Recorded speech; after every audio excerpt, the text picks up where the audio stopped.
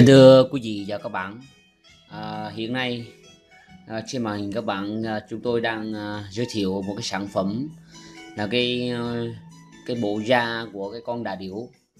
Và à, trên à, đó thì à, chúng khi mà chúng ta chăn nuôi con đà điểu thì thực ra là à, nhiều người cũng không biết được là cái giá trị à, của cái à, bộ da của nó rất là quan trọng.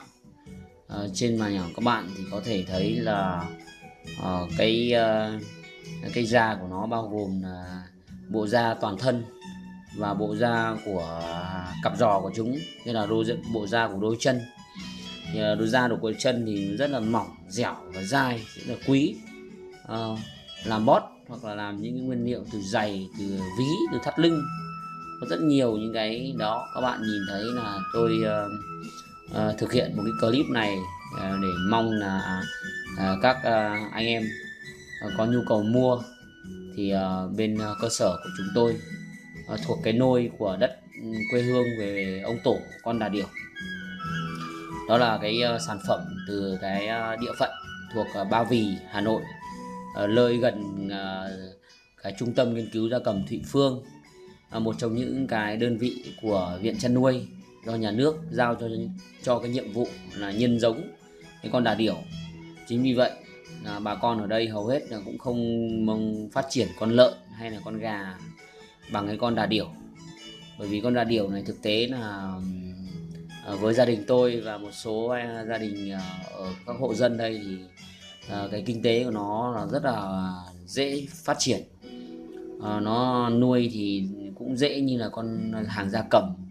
Nó có thể ăn cây chuối ăn bèo ăn rau ăn uh, nương thực ngũ cốc cám cỏ thực phẩm. Nói chung là ăn rất là tạp.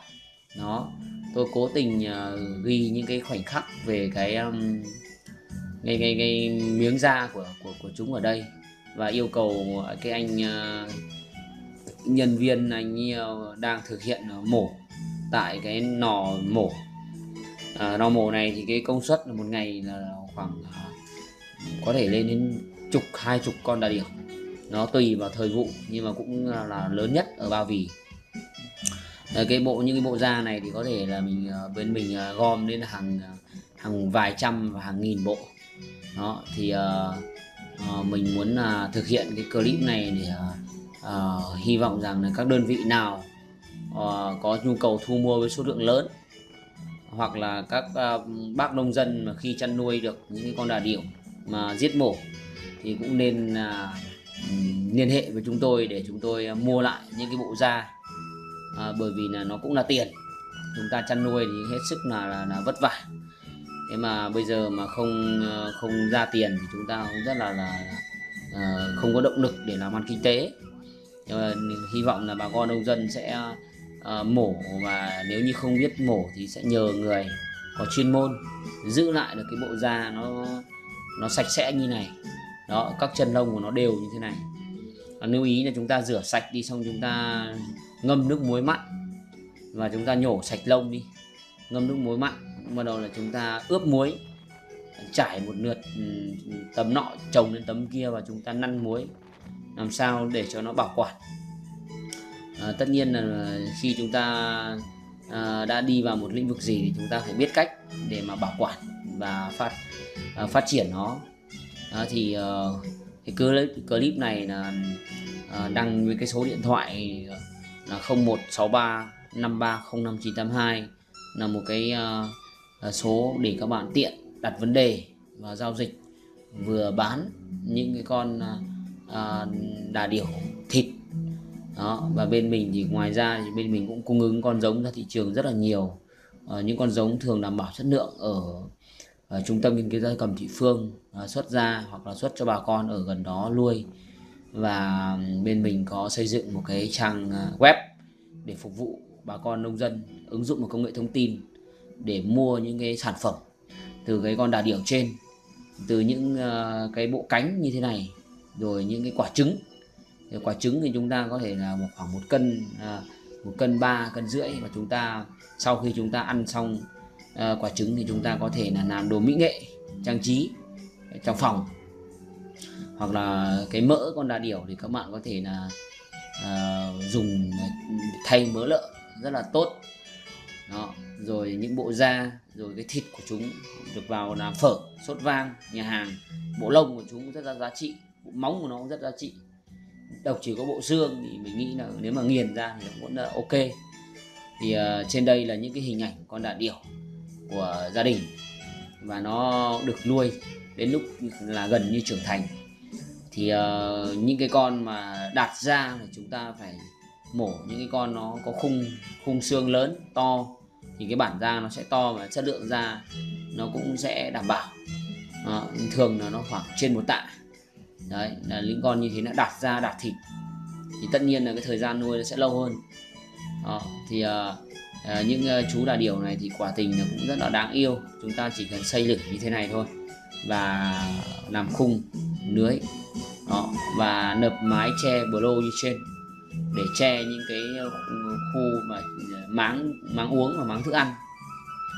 Thì uh, các bạn có thể là phát triển kinh tế từ cái con đà điểu này để chúng ta uh, cùng nhau uh, đi lên trong cái uh, hội nhập uh, nông thôn mới.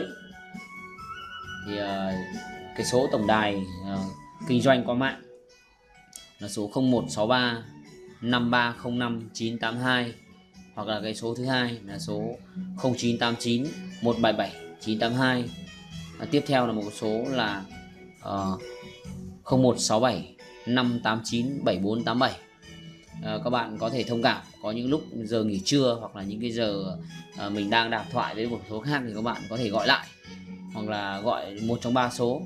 Thì số nào mà đăng trước thì sẽ ưu tiên trước. Nó sẽ có cơ hội giao dịch uh, trực tiếp hơn trực tiếp hơn. Đó thì uh, các bạn uh, vào cái kênh uh, cây con giống và cây giống cây nông nghiệp nông thôn của bên mình để mình uh, uh, quy tụ những cái mặt được của những cái con giống những cái cây giống nó mới mẻ mang lại hiệu quả kinh tế cho bà con nông dân. Để ờ, nhân ờ, nhân giống từ những cái vùng quê có sang ờ, những cái vùng quê của các bà con chưa có. Ví dụ như là tại Ba Vì thì có con đà điểu tại một số những cái vùng khác thì các bạn có thể là có những cái cây giống ví dụ như là cây chanh ra quả bốn mùa hoặc là có những cái cây uh, giống nhập ngoại những con giống nhập ngoại. Chúng ta cũng lên uh, nắng nghe các cụ này uh, nhất giống nhì phân đúng không? À, à, thế là nhất nước nhì phân tam cần tứ giống. Đó, mình uh, điều chỉnh lại. Thì thực ra cái giống nó rất là quan trọng bởi vì nếu như các bạn uh, nuôi con gì trồng cây gì mà không xác định gen giống thì nó rất là mịt mù. Đấy ví dụ như là chúng ta nuôi con uh, giống cảnh hay giống thịt hay giống thương phẩm. Thế thì uh, video này mình muốn uh, uh, giới thiệu với các bác về cái uh, lĩnh vực trên. Ờ, từ đó thì chúng ta có thể liên kết liên đới cùng nhau phát triển. Ờ, những cái miếng da có thể là được ờ, nhập ngoại hoặc là những con giống có thể là chuyển đi mọi miền tổ quốc. Đó thì đấy là những cái miếng da mà mình chụp ở nhiều góc độ để cho những cái nhà à, thu gom ra hoặc là làm những cái à, công tác để bảo dưỡng da à, rồi à, xuất khẩu chúng ta có thể biết được là đây là cái nơi để chúng ta đặt vấn đề chúng ta giao lưu với nhau và chúng ta mua bán với nhau. Uh, nó, nó trở thành một cái đường uh, dây là một cái ekip. Nó rất là gì? Chuyên nghiệp và rất là gì? Uh, đó thì các bạn thấy là trên hình ảnh đây là những khoảnh khắc về những cái con đà điểu. Từ cái đầu cái cổ cái lông đến cái chân. Thì uh, bà con uh, ở vùng khác chưa nuôi thì có thể là phần nào tưởng tượng ra. Nó cũng rất là đáng yêu đó, những con trưởng thành này thì nó sẽ dao động từ 90 cân đến một tạ hai tạ ba. Đó, và nó rất là gì rất là dễ rất là đáng yêu thôi. Nó không có cái tính nguy hiểm. Đó và những cái bộ da của chúng thì rất là dẻo dai rất là gì đẹp từ những cái nốt những cái chân lông như vậy. Hy vọng rằng là các bạn sẽ à, à đăng ký cái kênh à, nông nghiệp cây giống con giống của mình để tiếp tục đón những cái, đón nhận những cái video mới à, mình sẽ đưa những cái khoảnh khắc nó thật là tuyệt vời đến tất cả các bà con uh, trên uh, mọi miền tổ quốc. Uh, cảm ơn các bạn một lần nữa. Xin chân thành cảm ơn các bạn đã theo dõi kênh của chúng tôi. Chúc các bạn một ngày làm việc vui vẻ hạnh phúc thành đạt.